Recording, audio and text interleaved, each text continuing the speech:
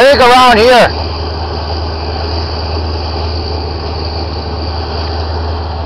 Hey, Trevor's gonna go first. Okay.